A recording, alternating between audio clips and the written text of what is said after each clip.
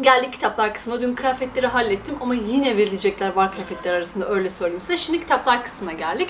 Ben de aslında çoğu insan gibiydim. Yani kitaplarını vermeye kıyamayan, o muhteşem görüntüyü çok seven insanlardan bir tanesiydim. Ama sonra baktım ki 10 yıl önce okumuşum kitabı. Bu 10 yıl da neymiş anasını satayım. 5 yıl önce okumuşum kitabı ama bir daha açmamışım kapağını. Genelde romanlar, öyküler, hikayeler yani kurgu eserler de genelde böyle oluyor çünkü açıp bakma gereği duymuyorsun ya benim açımdan öyleydi en azından. Ve hiç bakmadığımı kimseye de vermediğimi çünkü veriyorsun geri getirmiyorlar falan diye bir de sistem ediyordum. Kitabın amacı ne? Yani birçok kişinin okuması lazım, birçok kişinin faydalanması lazım. Eğer bu ülkede kimse kitap okumuyor diye şikayet ediyorsan kitap okumaları için teşvik etmen lazım, paylaşman lazım değil mi? Mantıken öyle olması gerekiyor. Ama ben bunları yapmıyordum. Tabii sonra yavaş yavaş bunun mantıksız bir şey olduğuna karar vererek kitaplarımı, okuduklarımı özellikle hemen kütüphanelere vermeye başladım, insanlarla paylaşmaya başladım. Bu şekilde devam etti. Ama şu anda sadece kütüphanelere veriyorum. Çünkü çok daha mantıklı. Düşünsene yani veriyorsun kütüphaneye birçok insanın eline geçiyor ve kütüphaneden aldığın kitap okumak da çok keyiflidir bu arada. Yani bir onun eline gidiyor, bir onun eline gidiyor amacına ulaşmış oluyor. Ben kitaplarımı nasıl ayırıyorum? Bu videoda size bundan bahsedeceğim. Ben bu yani çoğunlukla kitaplıkta gördüğünüz kitapların birçoğu okunmamış kitaplar.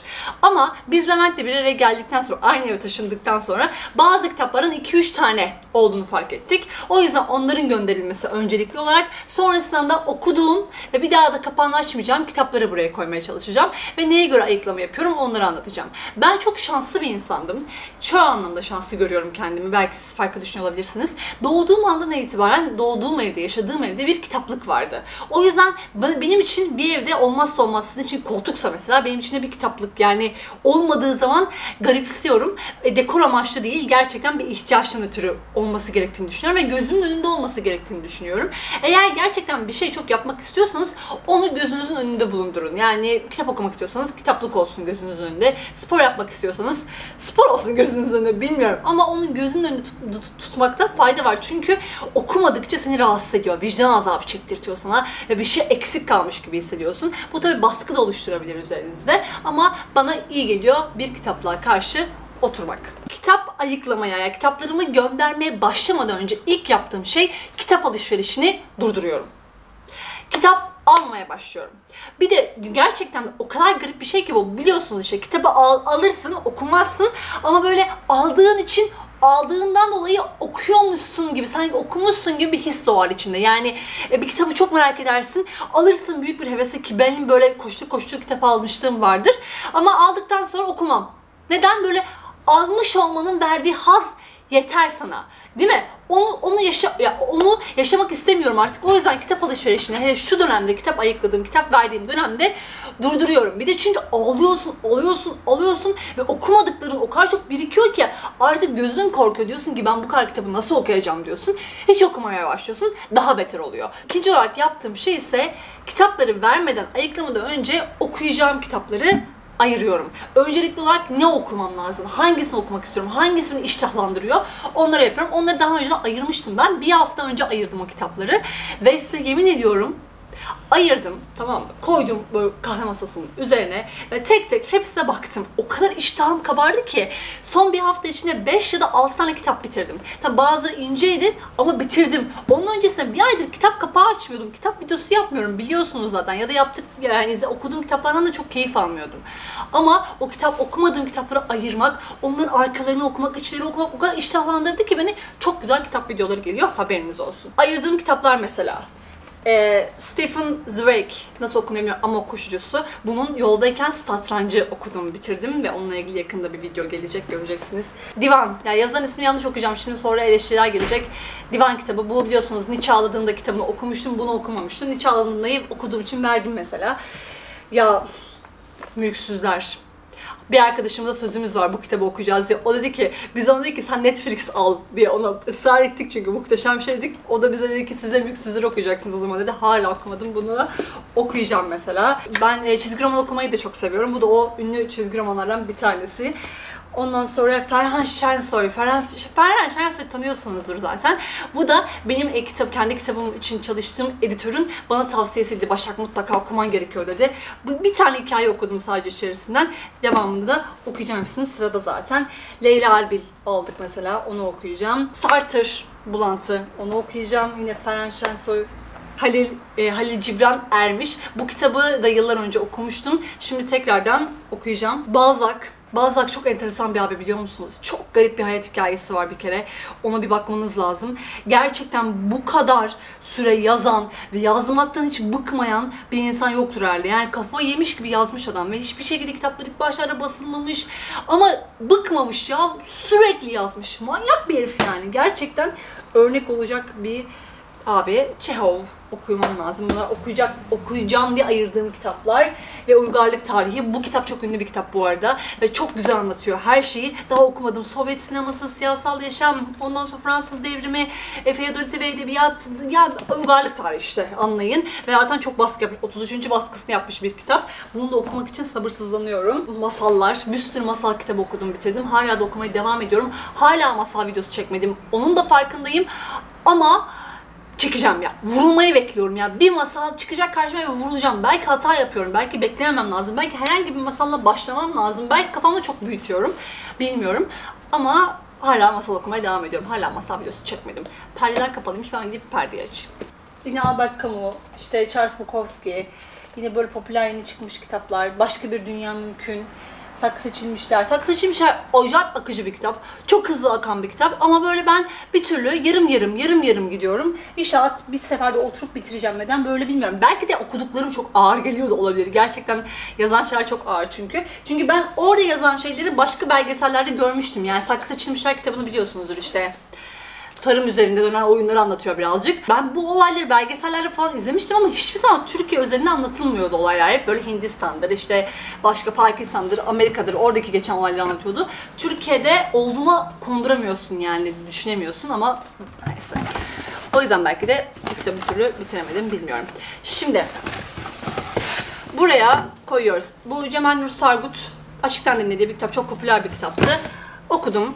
Yani beğendim sayılır. Osho'nun mesela bir kitabı bu. Osho için bir sürü eleştiri falan bir sürü olay var şu aralar ama e, bu şey bir kitabı ama hmm, güzel bir çeviri değil. Güzel bir çeviri değilse niye verecek, veriyorsun diyeceksin. Haklısınız ama çöpe atmak da mantıklı değil. O yüzden yine bunu da kolun içine koyuyorum. Starbucks'ın mucizesi. E, bu kitabı da okumuştum bir zamanlar, işletme okuduğum zamanlar. Bir derginin hediyesiydi bu. Enteresan bir olay zaten Starbucks ama Starbucks'la ilgili birçok şeyi internetten araştırıp bulabilirsiniz zaten. Çayla ilgili bir kitap. Bunu da okumuştum zaten. Ve hatta bununla ilgili video bile yapmıştım. Büyük yazarların gizli hayatları diye bir tane kitap. Bu böyle yazar olacağım ben falan diye dediğim zamanlar aldığım bir kitaptı. Gerçekten yani oku eğlencelik böyle falan diye okuyacağınız bir kitap. Bir de bununla ilgili ben e, şeye Domingo yayınları değil mi bu? Oraya yazmıştım biliyor musunuz? Kapak açılmıyor. Yani böyle okurken dirseğini falan dayayıp falan okuman lazım kitabı. Böyle yani kapaklar o kadar kötü ki. Yazmıştım onları da hiç sallamamışlardı beni. İlber Ortaylı, canım İlber Ortaylı mesela bakın bu kitaptan bir tane daha var orada. Gerçekten İlber Ortaylı okumanız lazım yani. Gerçekten yani gerçekten çok başarılı. İlber Ortaylı'nın da çok umurundaydı yalnız şu an çok başarılısın İlber falan dediğim. Neyse ama yani tarihi gerçekten İlber Ortaylı'dan okumanız gerektiğini düşünüyorum. Şu anda Türkiye Yakın Tarihi kitabını okuyorum İlber Ortaylı'nın. O da çok başarılı.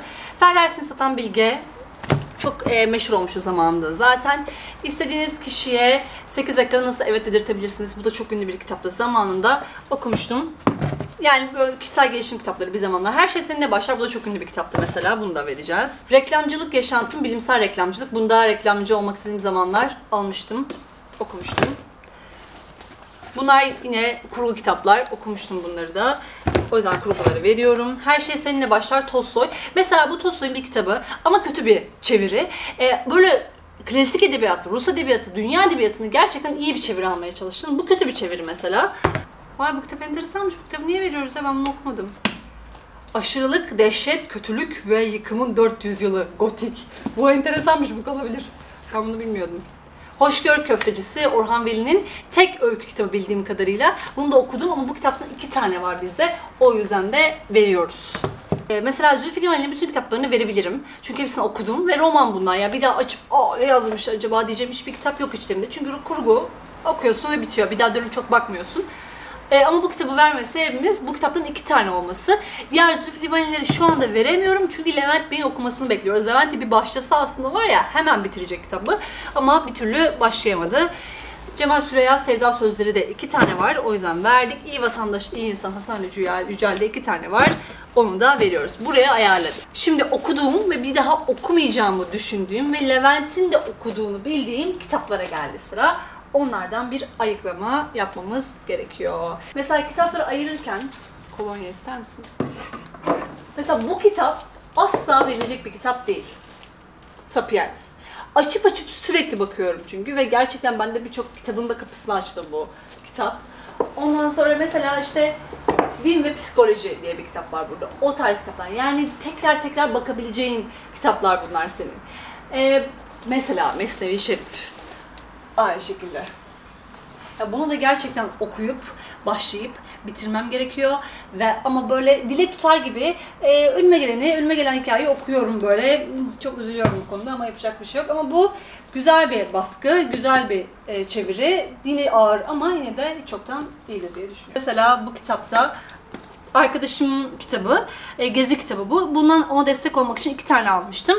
Bir tanesi gidebilir o yüzden. Bu mesela hocamın kitabı okudum. Gayet de güzel bir kitap.